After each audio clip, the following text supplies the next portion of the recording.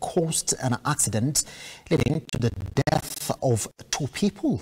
Now, through his uh, Facebook account, Lee Kinyanjui condoled with the family members of the accident victims and called upon the residents of the county to exercise a caution while using the roads. The residents are now calling on the government to construct road bridges at the scene of the accident.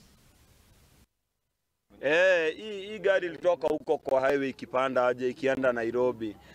Ilikuwa speed. Yaani ni speed ime imekosa. Unaona, sasa unacheki si watu wa Ndudhi hatuna bahati juu kitu kifanyike inakutoa tu mtu wa Ndudhi.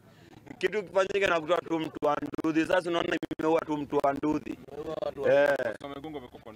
angeweza hata kuicontrol ilipovuka ile reli ilipunguza speed, angeweza imejipeleka pole pole pole pole mpaka ikaingia kwa ile mtaro.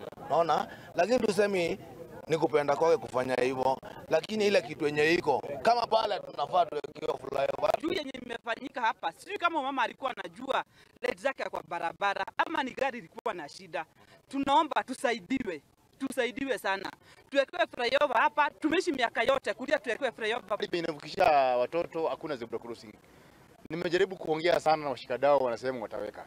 So wa NTSA ilikuja ikanipatia hii mbao kwa sababu watu wa matatu, watu wa matatu, magari tuseme tu ya umma walikuwa na madharau.